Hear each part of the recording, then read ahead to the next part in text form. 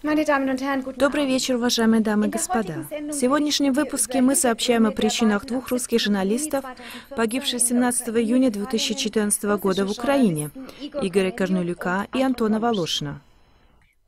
Сотни русских журналистов работают в Украине и рискуют жизнью. Они сообщают о бомбардировках, о телевизионных обстрелах и запрещенном оружии украинской армии, то есть о событиях и обстоятельствах, которых мы в западных СМИ едва что-то слышим. Их записи могут позже послужить как доказательный материал, например, в Гаге. Они доказывают преступления украинского правительства. Но в ответ украинское правительство пытается завуалировать свои следы и хочет остановить всякое альтернативное освещение происходящего на Юго-Востоке.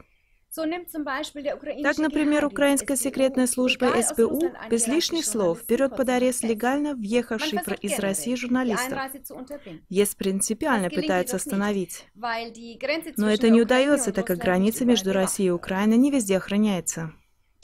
Оба русских тележурналиста Игорь Корнелюк и Антон Волошин были убиты 17 июня, якобы при обстреле из украинских хронометов.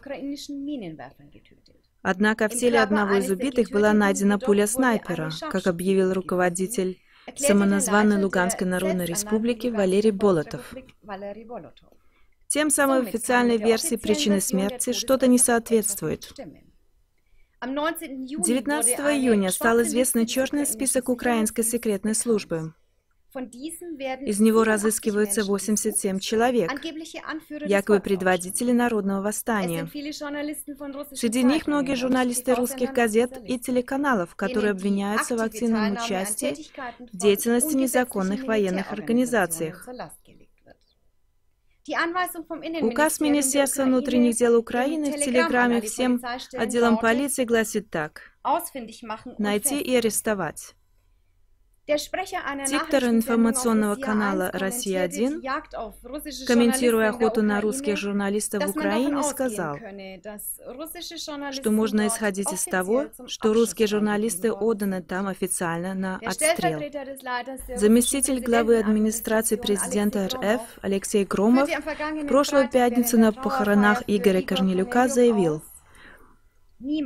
Никто из сотен российских журналистов не ушел оттуда и не хочет уйти, так как они выполняют чрезвычайно важную миссию. Они говорят правду. И этим они спасают сотни и тысячи человеческих жизней.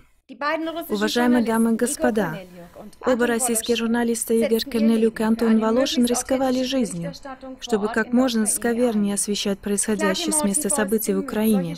Клага Мао ТВ старается и у нас опубликовать такие голоса, чтобы внести свет в неясные взаимосвязи украинского конфликта. Благодарим за ваше содействие приобретать новых слушателей, чтобы широкие массы населения услышали об этом. Доброго вечера.